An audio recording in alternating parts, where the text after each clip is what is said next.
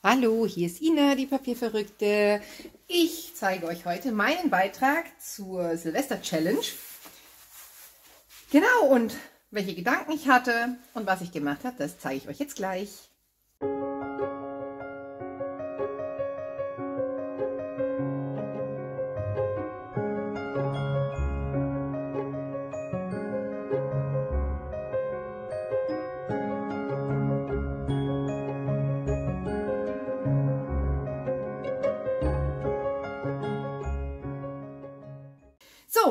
Silvester ähm, verschenkt man ja in aller Regel Glück.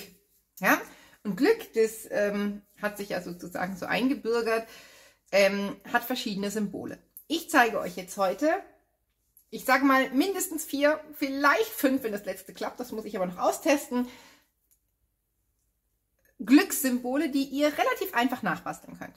Ich starte mit dem Marienkäfer. Ich habe mir jetzt das Set Flotter Käfer von Stampin' Up gekauft. Aber das müsst ihr nicht. Ich zeige euch erst einmal, wie ihr das mit dem Set macht. Aber ich zeige euch auch nochmal eine Alternative, wie das jeder machen kann. Wirklich jeder, der bisschen Bastelsachen zu Hause hat. Also mit bisschen Bastelsachen meine ich buntes Papier. Ja, genau. So, ähm, starten wir. Also da, wie gesagt, ihr braucht dieses Set wirklich nicht. Aber ich zeige einmal, wie es funktioniert für die, die das Set vielleicht zufälligerweise zu Hause haben. So. So, ein Marienkäfer ist klassischerweise ähm, sozusagen schwarz mit roten Flügeln. Ja. So, die hier brauchen wir auch noch.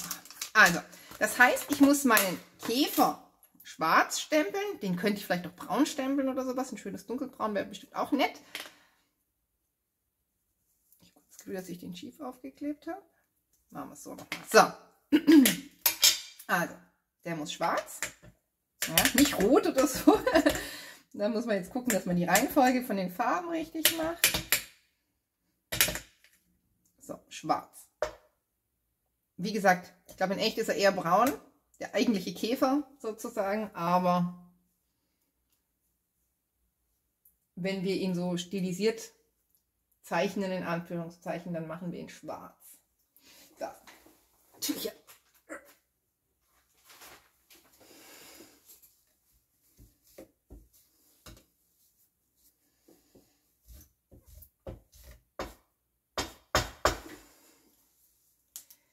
So, Nummer eins. Dann, wo habe ich die Flügel hin? Ach Leute, nö. Ist heute schon wieder so ein Tag, wo alles schief geht?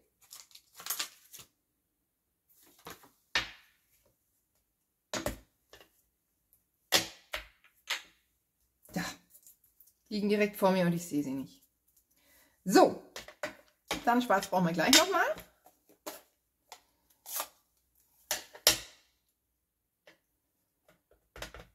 Dann brauchen wir ein schönes Rot. Geht aber auch ein, ein, Gelb zum Beispiel. Ja, es gibt ja auch welche, die, die so, naja, eher orangene Flügel haben. Gelb ist vielleicht ein bisschen zu hell, aber orangene gibt es auch. Und es gibt ja auch umgekehrte, gell? Also da kann man dann auch wieder lustige Sachen machen. Ist die Frage, ob mir das nicht fast ein bisschen zu rot ist. Also für die, die die Stampin' Up Farben haben, man könnte Calypso mal probieren. Wisst ihr was, das mache ich doch jetzt geschwind. Weil mir das jetzt, das ist dieses ähm, Real Red, ist mir fast zu dunkel. Aber da guckt ihr, welche rote Stempelfarbe ihr zu Hause habt. Ja, ich bin noch fast am überlegen, ob ich die Oxides auch nochmal ausprobiere. Da habe ich einen Schüber. Guck, das ist schöner, das leuchtet ein bisschen mehr, das Calypso. Dann würde ich nämlich wahrscheinlich das Calypso nehmen. So, Delle. Und dann machen wir die Rot wieder zu. Ihr denkt bitte dran, Stempelkissen, die man nicht benutzt, macht man zu. So aus Sicherheitsgründen. So, und dann machen wir unsere schwarzen Punkte. Ja, ich das E-Shap. Das ist jetzt, Achtung, ihr seht jetzt wahrscheinlich meinen Kopf, aber anders kriege ich es nicht hin. Ja, auch so hat es nicht richtig gut geklappt. Also nochmal. Irgendwie rutsche ich ein bisschen ab. Das irritiert mich gerade.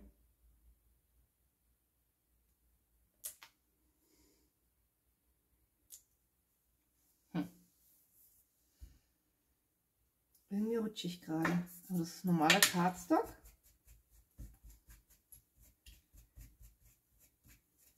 Meine, es gibt noch mal eine andere Möglichkeit, die kann ich euch auch noch zeigen. So, dann, nee, das brauche ich noch mal. Die andere Möglichkeit ist nämlich, dass ich es hiermit mache. Dann machen wir das nämlich auch noch ganz geschwind. Einfach, dass ihr mal seht, was ihr für unterschiedliche Möglichkeiten habt. So, Delle.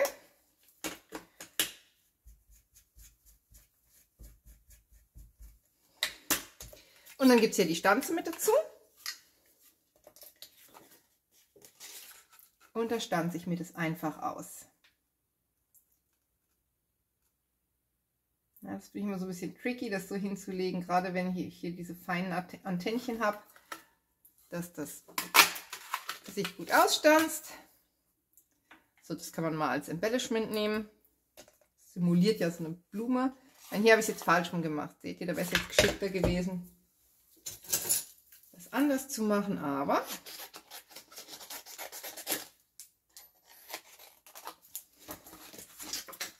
Wir haben hier eine Schere, ja?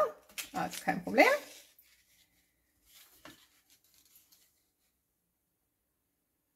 Auch wieder hier richtig reinlegen.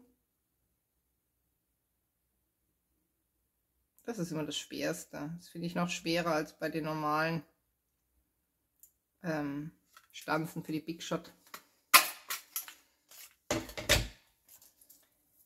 So, da da, das ist Variante Nummer 1 auch falsch rum.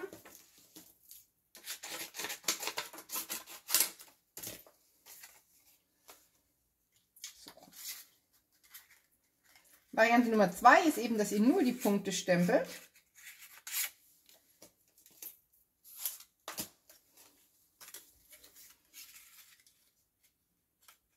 Euch das einlegt. Hier kommt es vor allem nicht auf einen Millimeter an, das ist auch ganz geschickt, weil ihr hier nicht diese weiße Umrandung habt, die mich im Zweifelsfall zeigt, dass ich falsch gestanzt habe.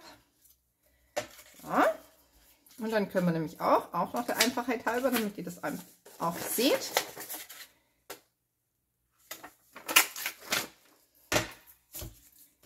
so den anderen so machen. Ja, aber man kann zum Beispiel auch den hier, hier drauf machen. Ja, das ist jetzt Geschmackssache. Mir gefällt ganz ehrlich, wenn ich gerade ehrlich bin, der sogar am besten ohne den weißen Rand.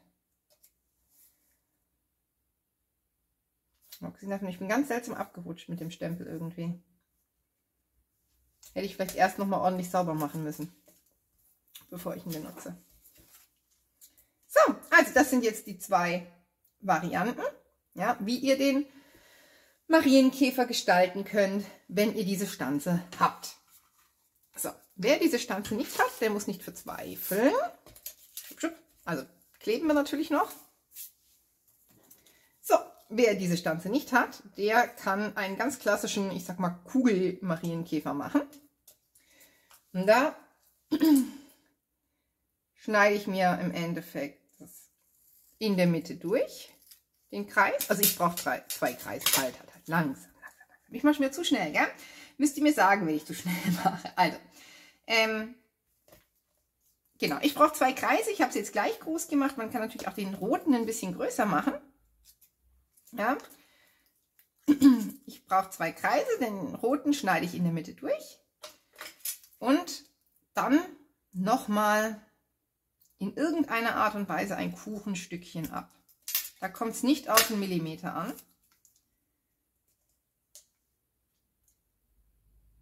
So. Und dann klebe ich das so wieder auf. Das mache ich jetzt aber tatsächlich sofort, dass ihr das auch richtig seht.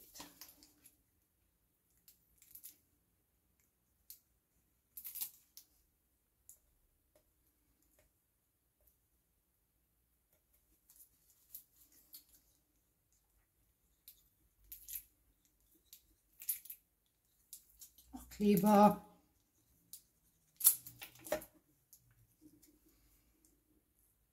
So, und zwar gerade, dass da so ein Mini-Abstand ist. Ja, zwischen den beiden Teilen. Irgendwie habe ich ja gedacht, jetzt übereinander gelegt. Irgendwie ist es doch ein bisschen schief geworden hier. Na, müssen wir nachher nochmal nachschneiden. So, und dann kann ich eben hingehen. Klassische Glückszahl wäre 6 zum Beispiel, dass ich meinem Marienkäfer mit irgendeinem schwarzen Stift, den, den ihr habt,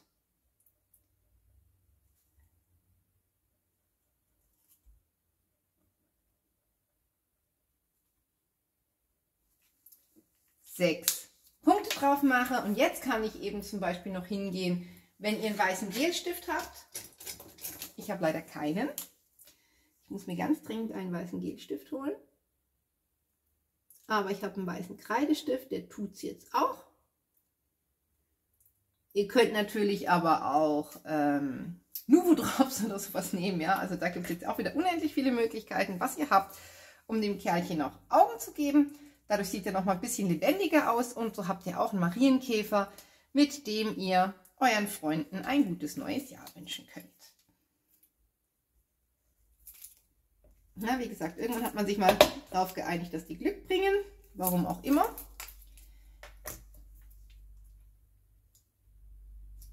So, und den kann ich jetzt auf eine Karte, auf ein kleines Geschenk drauf, ja, oder was auch immer ich halt habe, um ja, oder als Tischdeko.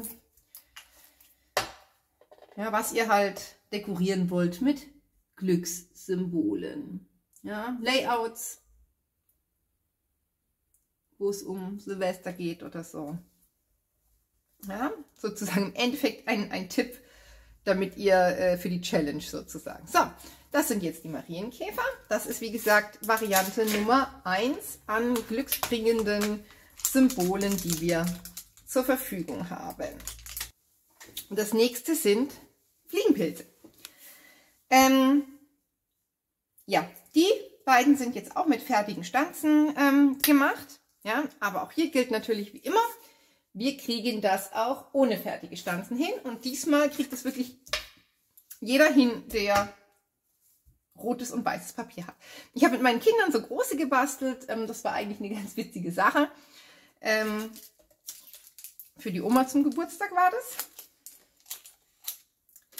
So, jetzt entweder weiß oder ich habe hier so ein leichtes Beige. Ja, also irgendeinen schönen hellen ähm, Farbton. Und dann nehmt ihr einfach Reste, die ihr eh schon habt. Ich nehme vielleicht eine Schere, die nicht so viel Krach macht. Die macht auch Krach.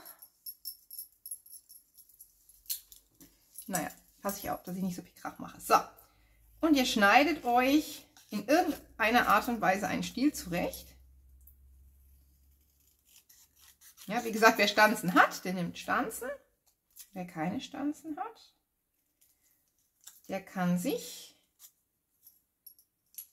einen Stiel zurechtschneiden. Das Tolle ist, dadurch, dass es eine Pflanze ist, muss das gar nicht perfekt sein.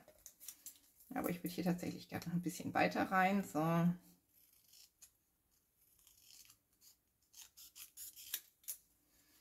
so dass es ein bisschen lebendiger aussieht. So, und dann schneidet ihr euch einen Hut zurecht. Auch der ist relativ einfach. Unten braucht ihr so eine leichte Biegung. Und dann macht ihr so eine Art, ich sag mal, abgerundetes Dreieck. Wer das freihand nicht kann, der kann sich immer eine Vorlage aus dem Internet runterladen. Ja, das verbietet euch niemand, solange ihr sie für den privaten Gebrauch habt sozusagen, könnt ihr euch da Vorlagen aus dem Internet runterladen, so viel wie ihr wollt. So, den klebe ich hier drauf. Und dann entweder mit einem weißen Stift oder aber ihr nehmt euren Locher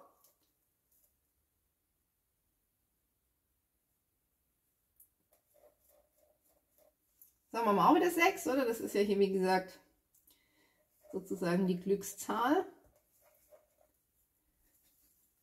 Muss ich den drücken? Nee. Wahrscheinlich bin ich nur zu ungeduldig.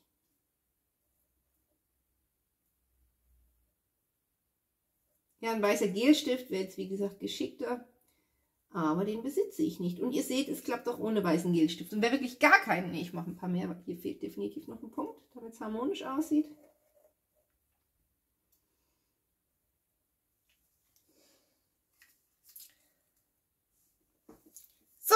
jetzt könnte man natürlich auch noch, dann sieht es auch noch ein bisschen natürlicher aus, wenn man hier noch so halbe Punkte an den Rand macht.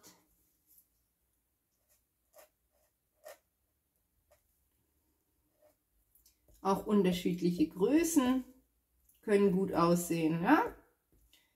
Also da ist wieder eure Gestaltungsfreiheit. Ihr könnt euch ja auch im Internet mal Fotos angucken. Wie sehen die denn echt aus? Ja, dann kriegt ihr da vielleicht auch nochmal Inspiration. So, jetzt habe ich schwuppdiwupp einen Glückspilz. Ja, und es geht so einfach. Und auch wenn ich 20 Stück davon machen muss, das geht wahnsinnig schnell, wenn ich da einfach vor mich hinschnipsel. Ja, also das ist ähm, auch schnell gemacht. Und wie gesagt, alles sehr unkompliziert. So, dann, wir bleiben im, bei unseren Farben. Bis jetzt ist es ja sehr einfarbig. Es wird aber nachher noch bunt, keine Sorge. Ähm, auch noch ein gängiges ähm, Zeichen für Glück ist ja unser Schornsteinfeger sozusagen. Und jetzt habe ich im Endeffekt ähm, drei Sachen, womit ich den Schornsteinfeger kennzeichnen kann. Also ein klassisches wäre tatsächlich die Leiter, die schwarze. Dann hat er ja diesen, also ist ja echt ein bisschen größer, diesen ja, wie, wie so ein Flaschenputzer, nur in groß, ja. Also diese, diese Bürste sozusagen. Und wir haben den Zylinder. Und Zylinder, Leute, ist nun wirklich das, was wir am aller einfachsten nachbauen können. Ja? Und dann erkennt man das auch relativ schnell als ähm, Zylinder erst recht, wenn man das dann mit dem vierten kombiniert, was ich euch gleich noch zeige. Aber jetzt erstmal schnipseln wir uns einen Zylinder. Das heißt, ich brauche ein Rechteck oder ein Quadrat. Ja, das könntet ihr, wenn ihr ähm, so gestitchte ähm, Rechtecken habt. Egal, also wenn ihr Rechtecke zum Stanzen habt, könnt ihr die auch nehmen. Und mit gestitchten wird es natürlich ein bisschen lebendiger, ein bisschen netter, sage ich mal. Ja.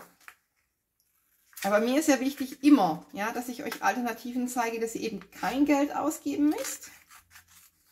So, auch den könnte man jetzt schön sauber zuschneiden hier. Diesen Querbalken. So. Ich weiß nicht, wie der heißt, Krempe, oder?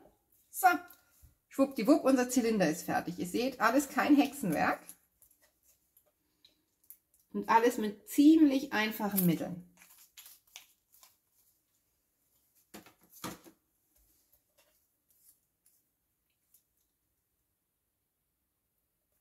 So, da da, der Zylinder ist fertig. Ja, und jetzt kommen wir ja zum Beispiel wenn man jetzt, na gut, der Marienkäfer, der fällt natürlich schwarz auf schwarz ein bisschen nicht so schön auf. Aber der Fliegenpelz, der ist jetzt ein bisschen groß. Den kleinen habe ich hier schon aufgeklebt. Gut, mit dem hier wird es natürlich gehen. Den sieht man. Und schwuppdiwupp habe ich Zylinder mit Marienkäfer und die allermeisten Leute in unserem Kulturkreis würden dann verstehen, dass das ein Glückssymbol ist. So, jetzt wird es nochmal eine Runde bunter. Die Farbe habe ich sogar vergessen. Und spätestens, wenn ihr die Farbe seht, wisst ihr wahrscheinlich, was als nächstes kommt. Ja. Lila brauche ich nicht. Grün. Wir haben noch ein Glückssymbol, was sehr grün ist.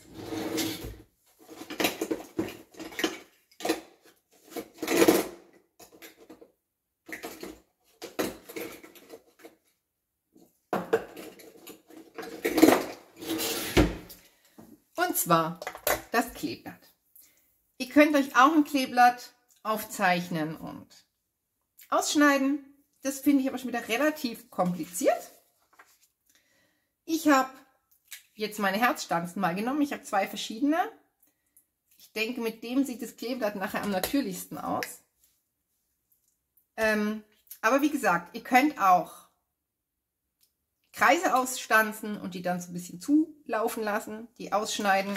Ja, ich versuche es jetzt mal so.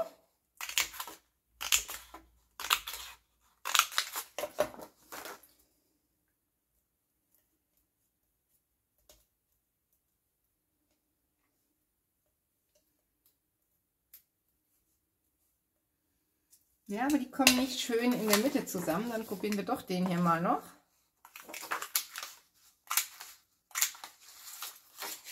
Vielleicht sogar abwechselnd. Weil hier komme ich schöner. Ja, okay, das gibt den schöneren. Ja, aber man kann auch das auch hier mitmachen, das geht. So, so ist mir das jetzt aber noch ein bisschen zu, naja, flach, sage ich mal. Jetzt probiere ich mal. Ja, mal schauen. Das wird jetzt ein bisschen fuddelig.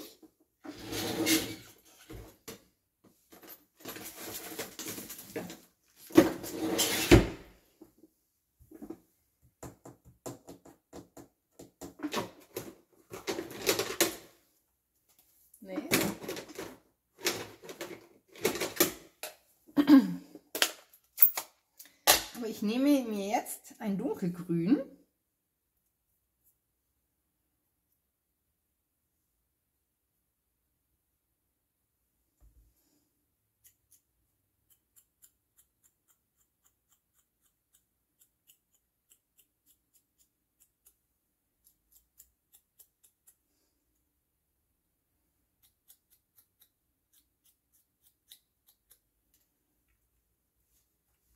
Und inke mir meine Ränder. Aber das ist wieder komplett freiwillig.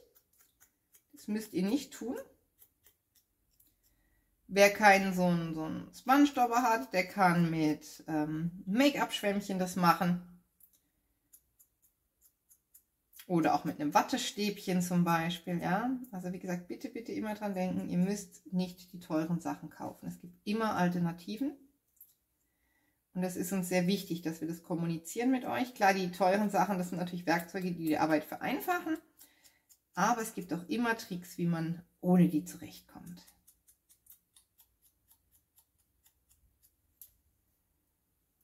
So.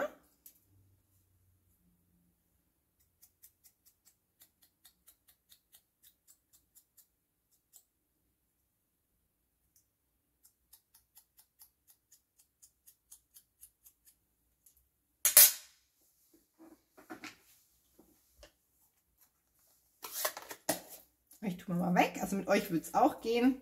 Aber wie gesagt, ihr könnt die Blätter auch, wie gesagt, guckt euch eine Vorlage im Internet an und dann könnt ihr das auch ganz einfach ähm, nachmachen. Also ausschneiden mit der Hand, meine ich. Wer keine Herzstanzen hat. Ja, ihr könnt euch auch dann, wenn ihr große Herzstanzen habt, schön große Blätter machen. Da kommt es dann halt immer drauf an, was ihr machen wollt. So, jetzt, ich will vor allen Dingen ein bisschen Kleber. Und ich kombiniere die beiden jetzt und dann sieht wirklich jeder, was gemeint ist.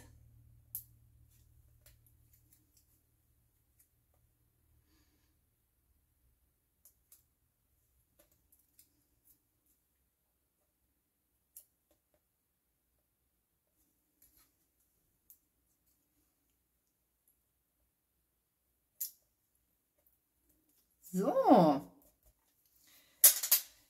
Jetzt würde ich hier tatsächlich in die Mitte, wo es man so richtig sieht, dass es zusammenhält, ein Steinchen reinmachen. Jetzt fällt mir der Name ein.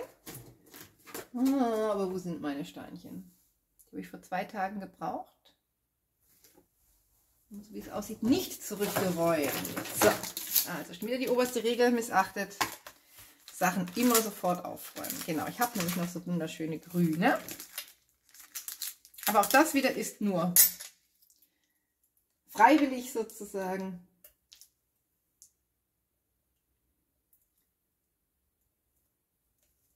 So. Und das ist jetzt, wie gesagt, sind jetzt Sachen, die könnt ihr nutzen, um Karten zu gestalten für Silvester, mit denen ihr Leuten Glück wünschen wollt. Ihr könnt eure Tischdeko machen, falls ihr doch mit ein paar Leuten dieses Jahr feiern wollt. Ihr könnt ähm, Layouts damit machen, ja, kleine Geschenke, die ihr Nachbarn, Freunden oder sonstigen eben schenkt, ja, um zu zeigen, wir denken an euch, ja, das ist, und wie ihr gesehen habt, geht es sehr, sehr schnell, also es ist nicht wirklich Arbeit, da ein paar Sachen zu machen. Genau, das war jetzt, wie gesagt, meine Idee für heute, dass ihr mal so ein bisschen Einblick kriegt in ähm, ja, die Glückssymbolik sozusagen, obwohl ich echt nicht weiß, was das jeweils bedeutet. Ich finde es spannend, dass man was, was giftig ist, als Glückssymbol verwendet. Ähm, beim Kleeblatt ist so ein bisschen klar, weil das ja, ähm, und beim Schornsteinfeger ist es auch klar. Also das Kleeblatt, das vierblättrige, ist nun mal selten. Das heißt, wenn man es findet, hat man ein seltenes Ereignis und damit Glück gehabt sozusagen. Und der Schornsteinfeger früher, klar, wenn der Schornsteinfeger kam, dann hieß das dass ein Hausbrand unwahrscheinlicher wurde. Ja, und von daher gesehen natürlich auch Glück. Bei den anderen Sachen weiß ich es tatsächlich nicht. Ähm, aber wie gesagt, mir ging es ja hauptsächlich darum, dass ihr das basteln könnt. Ihr habt meine Ideen jetzt mitgenommen. Vielleicht macht ihr was draus. Ihr denkt dran, wir freuen uns wahnsinnig, wenn ihr Sachen nachbastelt und uns das über Instagram dann ähm, zeigt. Ja, ihr kennt es, dass ihr dann mit Ad uns das schickt sozusagen. Also schicken in Anführungszeichen, ja, dass wir das dann sehen. Das freut uns ganz arg. Und ähm, ja, ich wünsche euch eine schöne Zeit. Ich wünsche euch einen guten Rutsch. Wir sehen uns nicht mehr vor dem neuen Jahr. Ich wünsche euch alles Gute. Wir sehen uns aber dann direkt im neuen Jahr ähm, mit der Challenge, die ihr bitte nicht vergesst. Alle, die mitmachen wollen. Und ähm, ich verlinke sie euch am besten nochmal für die, die Interesse daran haben. Und dann auch mit guten Vorsätzen fürs neue Jahr. Das äh, gibt es dann auch am nächsten. Also, zum Abschluss wünsche ich euch alles Gute. Kommt gut ins neue Jahr. Wir sehen uns dann im nächsten Jahr wieder. Macht's gut und bleibt schön kreativ.